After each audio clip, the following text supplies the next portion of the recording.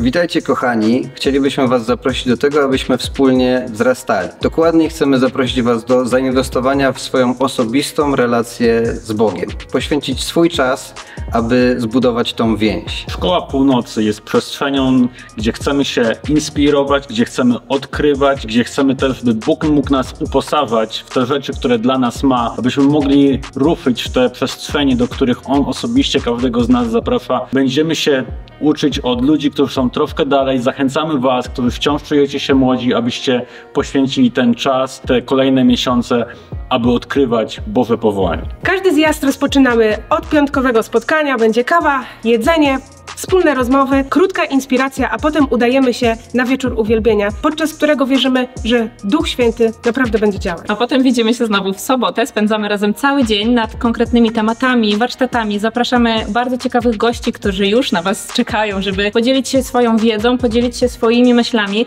i razem będziemy dochodzić do różnych wniosków na temat życia w wierze, życia duchowego, życia w kościele. Także zapraszamy Was, żebyście spędzili te weekendy z nami, bo kończymy je w niedzielę.